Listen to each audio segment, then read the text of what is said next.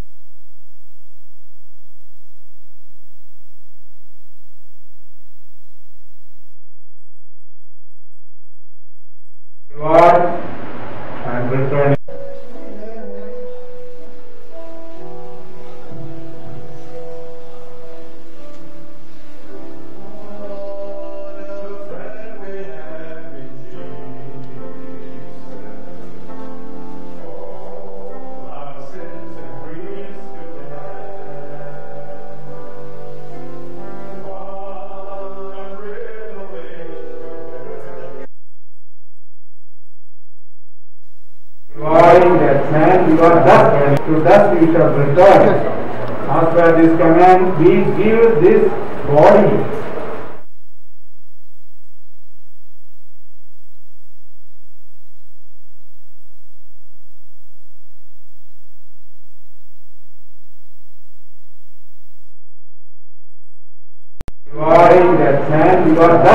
to dust you shall return.